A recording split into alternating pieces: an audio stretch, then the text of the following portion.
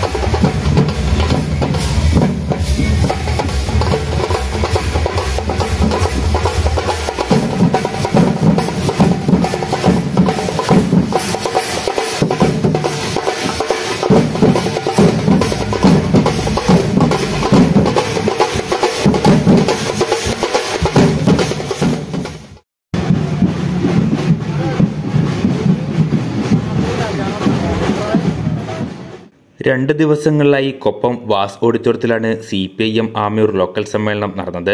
പ്രതിനിധി സമ്മേളനത്തിൽ എം രാജൻ സെക്രട്ടറിയായുള്ള പതിമൂന്നംഗ കമ്മിറ്റിയെ തിരഞ്ഞെടുത്തു. രണ്ടാം ദിനം വൈകിട്ട് പുത്തംകുളം കെ പി രാധാകൃഷ്ണൻ നഗറിൽ സംഘടിപ്പിച്ച പൊതുസമ്മേളനം സി പി എം ജില്ലാ സെക്രട്ടറി അംഗം വി കെ ചന്ദ്രൻ ഉദ്ഘാടനം ചെയ്തു.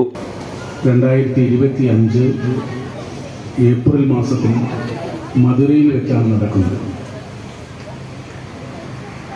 ആ സമ്മേളനത്തിന്റെ മുന്നോടിയായി. സെപ്റ്റംബർ മാസം മുതൽ പാർട്ടിയുടെ ബ്രാഞ്ച് സമ്മേളനങ്ങൾ ഇന്ത്യയിലെ വിവിധ സംസ്ഥാനങ്ങളിൽ നടന്നു വരികയാണ്. ഒക്ടോബർ മാസങ്ങളിൽ ലോക്കൽ സമ്മേളനവും നവംബർ മാസങ്ങളിൽ ഏരിയ സമ്മേളനങ്ങളും ഡിസംബർ ജനുവരി മാസങ്ങളിലായി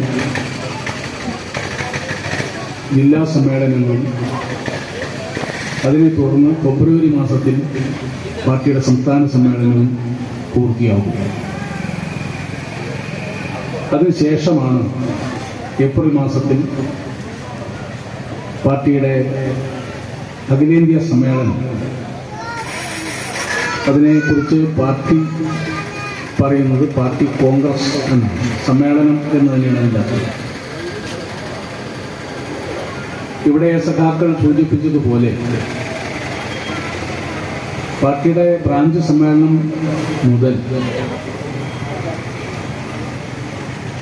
പാർട്ടി കോൺഗ്രസ് വരെയുള്ള വിവിധ തലങ്ങളിലുള്ള സമ്മേളനങ്ങൾ ലോക്കൽ സെക്രട്ടറി എം രാജൻ അധ്യക്ഷനായി area secretary T Gopalakrishnan area committee അംഗങ്ങളായ U Ajayakumar A Soman local committee അംഗം പി കൃഷ്ണദാസ് എന്നിവർ സംസാരിച്ചു.